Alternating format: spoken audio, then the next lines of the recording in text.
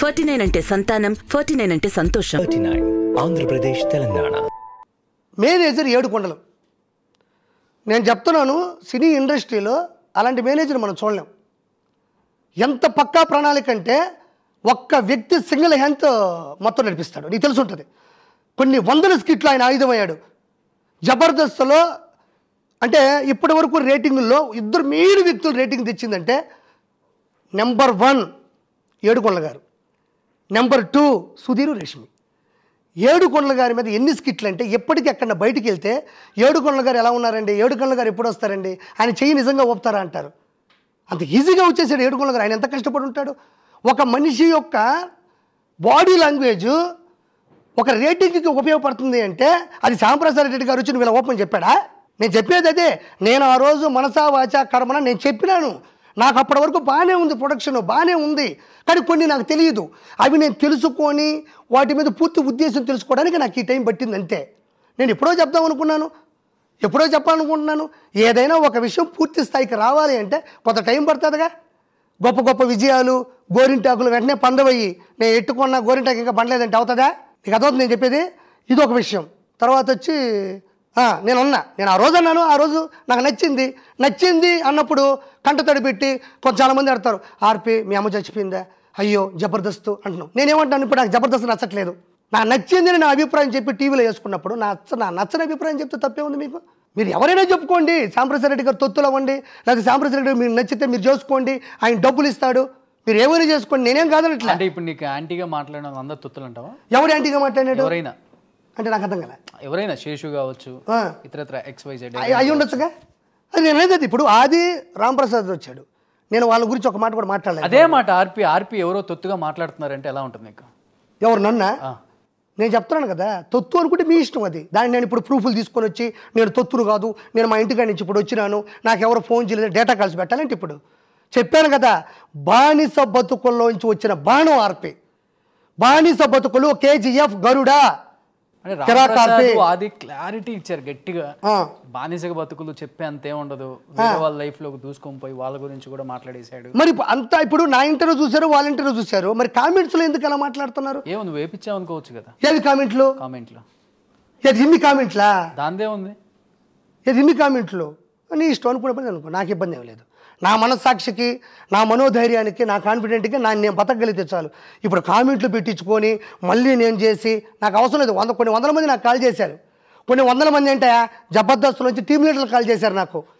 ఏమని? అదర కొట్టావు నెక్స్ట్ ఏంటి? మేము మేము అడగలేకపోయినాం. మేము మాట్లాడలేకపోయినాం. నువ్వు ఒక్కడో మాట్లాడినా మాకు సంతోషం. ప్రూఫ్ ఉందా ప్రూఫ్ నేను ఇప్పుడు ఇవ్వను. నేను ఇచ్చే చోట ఇస్తా. ఇప్పుడు నేను చెప్తాను కదా? నేను ఇప్పుడు నేను చెప్తున్నాను కదా నేను చేసుకోబోయే నా వైఫ్ మీద ఒట్టు. నా దగ్గర ప్రూఫ్ ఉంది. నీకు ఒక మెసేజ్ ఇస్తాను ఒక చార్ట్ ఇస్తాను. ఎందుకంటే వాళ్ళు మీరు పిలిచినా రానోళ్ళు నాగబాబు గారు చెప్పినా రానోళ్ళు ఇప్పుడు ఆర్పీకి ఫోన్ చేసి మాట్లాడాల్సిన అవసరం లేదు. వాళ్ళలో ఉన్న ఆ బాధ వాళ్ళతో అలా మాట్లాడిచ్చింది. నేనైతే దేవుడి సాక్షిగా అంత రికార్డ్ చేసి చెప్పేంత వ్యక్తిత్వం కాదు కానీ అంటే ఒకనొక టైంలో డిఫెన్స్లో పడతామని కూడా కాదు. మామూలుగా మనకు ఫోన్ రికార్డ్ అవుతాయి కదా ఆటోమేటిక్గా రికార్డ్ అయ్యే దాంట్లో. నేను తిరిగి చూసుకుంటే అది ఉంది. తప్పే ఉంది అందులో. ఫోన్ చేసి అన్న చాలా బాగా మాట్లాడినావు. మా ఇంట్లో వాళ్ళు కూడా చాలా బాగా హ్యాపీగా ఉన్నారా? అలా బతకండి. ఎందుకురా ఇలా చేయడము సరే మీ ఇష్టం లేరా? ఆర్పిఎన్ ఏంది ఇది? మేము చెప్పుకోలేకపోయి నువ్వు చెప్పినావు అంతే. ఏంటన్నా మెచ్యూరిటీ లెవెల్స్ నేను ఆయన ఆయన ఏదో పొగడతాడని నేను చెప్పలే. అంటే ఆది కూడా చెప్పాడు. ఆర్పి అన్న చెప్పిన దాన్ని డిఫెండ్ చేసే అంత ర్యాపో మాకుంది కాబట్టి నేను వచ్చి మాట్లాడుతున్నాను. ఆర్పి చెప్పిందంత అబద్ధం అని చెప్పాడు క్లారిటీగా. ఏది అబద్ధం? నువ్వు చెప్పింది ఫస్ట్ ఇదంతానా? ఫస్ట్ దాంట్లో ఏదైతే నేనేమంటున్నానబ్బా మీ అమ్మ మీదో మీ అక్క మీదో మీ చెల్లెల మీదో మీరు ప్రమాణం చేయండి అంటున్నాను కదా. ఇప్పుడు నేనేమన్నాను? ఆడియన్స్ మీరు చెప్పండి నేనేమన్నాను? మీ అక్క మీద మేము వచ్చేసినాము మేము నేను వాళ్ళిద్దరిని అసలు విమర్శించట్లేదు. ఎందుకంటే నాకు వాళ్ళు అసలు వాళ్ళు వాళ్ళు నా నా నేను అనుకుంటున్న మనసులోనే వాళ్ళు లేరు. వాళ్ళు వాళ్ళ తరపు నుంచి మాట్లాడినారు. ఇంకో పది మంది వస్తారు రేపు. నాకే ఇబ్బంది లేదు. నా తరపున ఎవరూ వద్దు. ఎవరినో ఫోన్ చేసి మాట్లాడుతున్నా నాకు వద్దు. నేను ఒక్కడే మాట్లాడతా. ఏ ఇంటర్వ్యూలో నాకు ఎవరు వద్దు. ఓకే? అర్థవుతుంది నీకు? వాళ్ళిద్దరూ అభిప్రాయం వాళ్ళు చెప్పారు. శ్యాంప్రసాద్ రెడ్డి గారి తరపున వాళ్ళు చెప్పారు నేను కాదనలేదు కదా. వాళ్ళు జబర్దస్త్ మళ్ళీ మాల్లో పనిచేశారు కాబట్టి వాళ్ళు వాళ్ళ అభిప్రాయం చెప్పడానికి వచ్చారు కాబట్టి నేను గౌరవిస్తున్నాను ఎందుకంటే వాళ్ళు సంస్థలో పనిచేశారు వాళ్ళ అభిప్రాయం వాళ్ళు చెప్పుకున్నారు. నేను పనిచేశాను వీడెవడీడు బ్యాక్ వీడు? శేషు ఎవడీడు నేను వెళ్ళే టైంకి ఆల్మోస్ట్ శేషు లేడు అక్కడ నేను వెళ్ళి జబర్దస్త్ చేసే టైంకి శేషు అనేవాడు లేడు అక్కడ. బయటకు వచ్చేస్తున్నాడు. ఆయన కారణాలు అవి ఆయన కారణాలు అవి నేనేం దాని గురించి నేనేం మాట్లాడలేదు. శశి చేసి అసలు నాకేమీ తెలియదు మధ్యలో ఒకసారి నాకు ధనరాజు అని ఫోన్ చేశాడు. ఆర్పి నీ సినిమా అయిపోయిందంట న్యూస్లో అదే అదే ప్రింట్ మీడియా అంటారు దాన్ని. Print media. ప్రింట్ మీడియాలో అదే మన యూట్యూబ్ ఛానల్స్లో వాటిలో గూగుల్లో వాటిలో వస్తాయి కదా. వాటిలో వస్తుంది నిజమేనా అన్నాడు. దాని సమాధానం ఏముంది? ఆ నిజమే అన్న అంటాం. అని తర్వాత ఒకసారి మళ్ళీ ఫోన్ చేశాడు.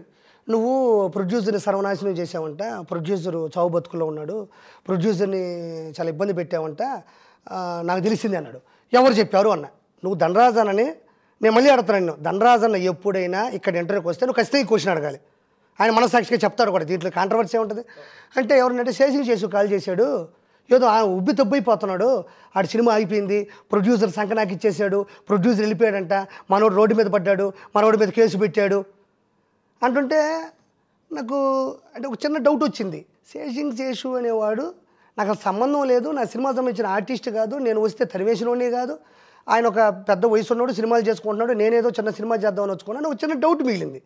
ఆ డౌట్ అయిన తర్వాత నేను సినిమా ఓపెనింగ్ పెట్టుకున్న రోజు ప్రొడ్యూసర్ గారితో ఒక అమ్మాయి ఉంది. పేరొద్దు. వచ్చినప్పుడు మాట్లాడదాం. దానికి వచ్చి తప్పేమీ లేదు. ఎవరు తప్పు చేయని నిలదేద్దాం ఒక అమ్మాయి ఉంది. దాని తర్వాత ప్రొడ్యూసర్ గారు ఇప్పుడు వచ్చినా కూడా ఒక అమ్మాయి వస్తుంది. ఆ తర్వాత సినిమా విషయంలో కూడా అమ్మాయి దూరడం మొదలెట్టింది. నేనేమనుకున్నా అంటే ఇప్పుడు ప్రొడ్యూసర్ సంబంధించిన నలుగురు ఉంటారు వాళ్ళు మనం రెస్పెక్ట్ ఇవ్వాలా? నేనే తురుము నేనే గొప్ప రైటర్ నేను గొప్ప డైరెక్టర్ అంటే ఎందుకు? ఆయన సంబంధించిన మనుషుల్ని మనం కన్విన్స్ చేసుకుని సినిమా తీసుకెళ్ళాలంటే అమ్మాయి కాళ్ళ మీద కాలు వేసుకొని కూర్చోవడం పెద్ద పెద్దోళ్ళు వచ్చినా కూడా అలానే చూడడం కొంచెం యాటిట్యూడ్ చూపించడం ఎవరి అమ్మాయి ఏంది? ఓహో ప్రొడ్యూసర్గా సంబంధించిన మనం ఎందుకు అడగడం? వాళ్ళ బంధువుల అమ్మాయి ఉంటుందిలే. అని ఆయన వచ్చినప్పుడల్లా వచ్చేది కూర్చునేది యాటిట్యూడ్లో ఉండేది. ప్రొడ్యూసర్ ఇక కౌన్సిల్కి వెళ్ళినప్పుడు కూడా మన అదే మన రిజిస్ట్రేషన్ చేపిస్తాం కదా. మన ఏది మన టైటిల్ బ్యానర్ కానీ అన్నప్పుడు వచ్చేది అంటే కట్ అక్కడ కట్ చేస్తే ఆ అమ్మాయి ఎవరు అని ఒకరోజు ఫేస్బుక్ ఇన్స్టాగ్రాము ఇవన్నీ లాడడం మొదలెడితే ఆ అమ్మాయి ఒక జూనియర్ ఆర్టిస్టు ఒక జూనియర్ ఆర్టిస్టు చిన్న చిన్న వీడియోలు చేస్తుంది. ఈ అమ్మాయి ఎవరు? కృష్ణానగర్లోనే ఉంది. ఈ అమ్మాయి ఒక నాలుగు కోట్లు పెట్టే ప్రొడ్యూసర్తో రావడం ఏంటి? ఇంపాసిబుల్. ఈ అమ్మాయి మళ్ళీ ఇంక ఇంత యాటిట్యూడ్ చూపించేది ఏంది? ఇలాంటి అమ్మాయి ఏదో వీళ్ళతో ఒక ఐదు వందలు ఏడు వందలు వెయ్యో ఇస్తారు. ఇలాంటి ఒక లేకపోతే ఒక ఐదు వేలు ఇస్తారు గట్టిగా ఏదన్నా మంచి ప్రొడక్షన్ లేకపోతే అమ్మాయికి టాలెంట్ ఉంటే. ఇలాంటి అమ్మాయి మన ఆఫీస్కి వస్తుంది. ఏందని సర్చ్ చేయడం మొదలెడితే ఈ సేకింగ్ శేషుగా అన్నాడు కదా వీడితో ఫోటో దిగి ఫోటో దిగుంది. ఓకే. అంటే దానికి ముందు దండరాజంతో మాట్లాడడం దాని తర్వాత నేను కొంచెం కనుక్కోవడం మొదలెడితే మనోడితో ఫోటో దిగుంది. అంటే ఇది సినిమా అయిపోవడానికి కూడా వన్ ఆఫ్ ద రీజన్ అంటే ఐపీ పెట్టాడు దాని ముందు కూడా జరిగిన ఒడిదుడుకులు చెప్తున్నా. ఈ అమ్మాయి ఒక రీజను ఈ అమ్మాయి ఎందుకు చెప్పింది అంటే ఎందుకు అనేది నాకు తెలియదు. దాన్ని లాగితే డొంకంతా జబర్దస్త్ దాకా వెళ్ళింది. జబర్దస్త్లో కొంతమంది ఆర్పీతో సినిమా తీయద్దు ఆర్పీతో ఎందుకంటే సినిమా ఆర్పీతో ఇప్పుడు సినిమా అవసరమా మా దగ్గర మంచి కథలు ఉన్నాయి మాతోనే చేయొచ్చు కదా అని మొత్తానికి నేను ఆఫీసులో ఉన్నప్పుడు అమ్మాయికి చెమట పట్టేది అంతే మన గురించి తెలుసు కదా. కరెక్ట్గా ఉండాలా? పద్ధతిగా ఉండాలా? ఎవరైతే ఏంటి? వచ్చిన వాళ్ళు రెస్పెక్ట్ ఇవ్వాలి. వచ్చిన వాళ్ళతో తిరగాలి. అమ్మాయికి అర్థమైపోయింది అంటే ఇంకా వీడు మనకు రెస్పెక్ట్ ఇవ్వడు. రెస్పెక్ట్ ఇవ్వడం అంటే అమ్మాయి ఒక ప్రొడ్యూసర్లో ఫీల్ అయిపోతుంది. నేను అంత ఛాన్స్ ఇవ్వలేదు. వచ్చినావా? చూసుకున్నావా? ఏదైనా ఉన్నావా? వెళ్ళిపోవాలంతే. అమ్మాయి ఏం చేయడం మొదలెట్టిందంటే ఈ అమ్మాయి ఈ సినిమాని ప్రొడ్యూసర్కి సంబంధం లేకుండా మనం ఆపడానికి ట్రై చేద్దాం. అని ఆ అమ్మాయి నాలుగు చెప్పడం ఆ తర్వాత మాకు అనిపించింది. జబర్దస్త్లో కొంతమందిలో లింకప్లు ఆ తర్వాత శేషింగ్ శేషు గారితో ఈ ఇంటర్సెక్షన్ పాయింట్ ఇదంతా చూసిన తర్వాత ఇదంతా ఒక డొంక. ఒక మ్యాప్ వేసి గీస్తే ఓహో ఎందుకు సినిమా ఆగుతుందని రీజన్ చెప్పలేను కానీ సినిమా ఆగడంలో ఒక ట్వంటీ ఫైవ్ పర్సెంట్ ఇది ఉంది. హండ్రెడ్ పర్సెంట్ కూడా ఉండొచ్చు. నాకు తెలిసి పూర్తి అవగాహన లేదు. ఇదైతే నిజం. ఇది జరిగిన తర్వాత నేను అప్పుడు అర్థమైంది. ఈ శేషు అనే నా వీడేంటి నా సినిమా ఏంటి మనం ఎంత కష్టపడి కథ రాసుకున్నాం వీడు ధనరాజన్లో ఫోన్ చేసి ఆనందపడ్డం ఏంటి మిగతా టీవీ లీడర్లకు ఆల్మోస్ట్ కొంతమంది చెప్పినారు. షేకింగ్ చేసి చెప్తున్నాడు షేకింగ్ చేసి చెప్తున్నాడు ఫోన్ చేసి మరీ చెప్తున్నాడు. ఎందుకు ఆనందపడుతున్నాడు? అసలు దీన్ని అసలు మనం విన వినలేదని ఆశ్చర్యపోవాలి. వినలేదు కదా అనుకోవాలా? లేకపోతే వీళ్ళు అర్థం చెప్తాను నేను చాలా రోజులు ఆలోచించడం మొదలెట్టా. కట్ చేస్తే ఈ అమ్మాయి వీడు జబర్దస్త్లో కొంతమంది వీళ్ళందరూ కలిసి సినిమాకు సంబంధించినటువంటి ఆర్పి లాంటోడు అలాంటోడు అని చెప్పడం జరిగింది. అందులో ఈ సినిమా ఆగిపోవడంలో వీడుకున్న సైకోయిజం ఏంటో నాకు తెలియదు కానీ వీడికి నాకు అసలు సంబంధం లేదు మా అమ్మ మీదట్టు. అంటే జబర్దస్త్ మల్లెమాల శ్యాంప్రసాద్ రెడ్డి గారి నుంచి స్కెచ్ మొదలైందా? ఎందుకంటే వీడికి నాకు సంబంధం లేకుండా నా సినిమా ఆగిపోతే ఆనందపడడం ఏంటి? నా సినిమా ఆగిపోవాలని కోరుకోవడం ఏంటి? ఒక అమ్మాయి చెప్ప ఏ లెవెల్లో ఏ విధానంలో ఆఫీసులో కూర్చు కూర్చుంటుంది? మాకు తెలియక ప్రొడ్యూసర్ మనిషి అనుకుంటే కృష్ణానగర్లో ఉండడం ఏంటి? అంటే కృష్ణానగర్ నేను తప్పు ఎక్కడైనా ఉండొచ్చు. తప్పేమీ లేదు నేను అంటున్నా కృష్ణానగర్లో ఉండడం ఏంటి? అంత స్థాయి ప్రొడ్యూసర్ పక్కన ఉండే అమ్మ ఏ బంజారా హిల్స్లో ఉండొచ్చు కదా? వీడితో ఫోటో దిగడం ఏంటి? అక్కడ ఉండడం ఏంటి? ఇక్కడ ఉండడం ఏంటి? వీళ్ళతో ఉండడం ఏంటి? అని నాకు అప్పుడు డొంకలాగితే అప్పుడు అర్థమైంది. ఓహో ఇంత జరిగింది అనేది నాకు ఇప్పటికీ అర్థం కాని విషయం ఏంటంటే జబర్దస్త్కి వీడు తొత్తు కాకపోతే జబర్దస్త్ మల్లెమాల శ్యాంప్రసాద్ రెడ్డి గారికి వీడు ఏమాత్రం ఇలాంటి రిలేషన్ లేకపోతే వీడు నా సినిమా పోవాలి లేదా నా సినిమా ఆగిపోవాలని కోరుకోవడం ఏంటి? ఇది ఒక రీజను ఆడియన్స్ నేను చెప్పింది ఇది కరెక్ట్ దాంట్లో ఏది తీసుకోవాలనేది మీ విషయం అది. ఇది జరిగింది ఇది నేను చెప్తున్నాను కదా. వాడు ఇరవై లక్షలు అన్నప్పుడు నేనే అన్నాను కదబ్బా డెబ్బై చిల్లర నేనే కదా చెప్పింది. ఓకే వీడికింత సైకోయిజం ఎక్కడి నుంచి వచ్చింది అంటున్నా. అంటే చచ్చిపోయే ముందు నూకలు చెల్లినట్టు పిచ్చిదేగి మాట్లాడుతున్నాడా? లేకపోతే శ్యాంప్రసాద్ రెడ్డి గారు స్టేజ్ ఎక్కిస్తారని మాట్లాడుతున్నాడా?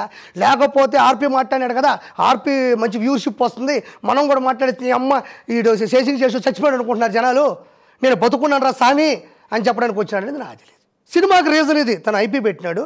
నేను ఐపీ పెట్టినా కూడా అరుణాచలం గారు మీరు ఎక్కడున్నా బాగుండాలి. మీరు చాలా గొప్ప వ్యక్తిత్వం ఉన్నవాళ్ళు. నాతో ఉన్నంత వరకు మీరు చాలా మంచిగా మెలిగినారు.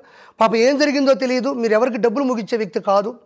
రెండోది మీ వ్యక్తిత్వం నాకు తెలుసు. మీరు పల్లెటూరులో పుట్టినా నా కథ విన్నప్పుడు ఒక నిజంగా సినిమా వాళ్ళ మీరు ఫీల్ అయ్యారు. నాకన్నా బడ్జెట్ మీరు ముందేసేవాళ్ళు మిమ్మల్ని నేనేం అనట్లేదు. జనాలందరికీ తెలిసిపోయింది. ఇప్పుడు నా గురించి బయట కూడా అనుకోకూడదు. అనుకుంటే ఇబ్బందిని కాదు. చాలామంది నన్ను అభిమానించే వాళ్ళు ఉన్నారు. వాళ్ళందరికీ సెల్స్ చెప్పడం కోసం ఇది చెప్పాను. I love you sir I miss you మీరు మళ్ళీ రిటర్న్ అవ్వాలి.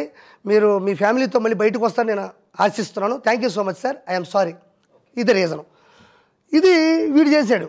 ఇది ఒక రీజను అసలు సంబంధం లేని మనిషి ఏంటి? ఒక సంబంధం లేని మనిషి వచ్చి కూర్చుంది అంటే కొన్ని సినిమాలు చూస్తుంటాం. కన్న తండ్రే కూతురు చంపించుంటాడు. కన్న తండ్రే పన్నుని చంపించుంటాడు. కన్న తండ్రే భార్య మీద కన్నేస్తుంటాడు. ఆర్ఆర్ బిల్డ్ అవుతుంటుంది. ఆర్ఆర్ బిల్డప్ అవుతుంది బిల్డప్ అవుతుంది బిల్డప్ అవుతుంది ఎవడో కాదు తండ్రి వస్తాడు. అంటే నేను నేను అనుకుంది నేను రాసుకున్న కథ అసలు నాకు అసలు వేస్ట్ అనిపించింది. వీడిచ్చిన ట్విస్టుల ముందు. ఇది ఒక కథ అనిపించింది నాకు. వాడికి నాకు సంబంధం లేదు. వాడు ఎవడో కూడా నాకు తెలియదు వాడి కుటుంబంతో నాకు రిలేషన్ లేదు. నువ్వు జబర్దస్త్ సంస్థ నుంచి వచ్చి నన్ను ఏమైనా మాట్లాడినా సమాధానం ఇస్తా. నువ్వు పర్సనల్గా టార్గెట్ చేసి ఆర్పీ కాబోయే భార్య ఆర్పీ రోడ్డు మీద తిరిగినాడు లేదా హోమ్ టూర్ పెట్టాడు ఇవన్నీ చెప్పిన దాని రీజన్ ఏంటంటే సాంప్రదాయ రెడ్డి గారు రెడ్డి రెడ్డి గారు వాళ్ళని బాణమా నేను ఈరోజు నా మనస్సాక్షిగా చెప్తున్నా నేను నాగబాబు గారు వదిలిన వాడిన బాణాన్ని కాదు. నాకెందుకు బాణం? నాగబాబు గారి నుంచి ఇప్పటి వరకు నా కన్న తల్లి సాక్షిగా ఒక్క రూపాయి డబ్బులు తీసుకోలేదు. నేను ఏ రోజు పవన్ కళ్యాణ్ గారి సినిమాలో కానీ అల్లు అర్జున్ గారి సినిమాలో కానీ వరుణ్ తేజ్ గారి సినిమాలో కానీ నేను కనబడలేదు. నాకు కనబడాలని కూడా లేదు. ఆర్పీకి ఏదైనా క్యారెక్టర్ వస్తే బాగుంటుంది అని నేను అనుకుంటాను. ఆడికి ఇస్తే చేస్తానని చేస్తాడు. ఎవడు కూర్చోబెట్టి ఊళ్ళో పెట్టి మళ్ళీ మళ్ళీ శ్యాంప్రసాద్ రెడ్డి లాగా నేను లైఫ్ ఇచ్చానని ఊరు చెప్పుకోరు. ఎవరు ఇక్కడ ఎవరెవరికి లైఫ్ ఇవ్వరు.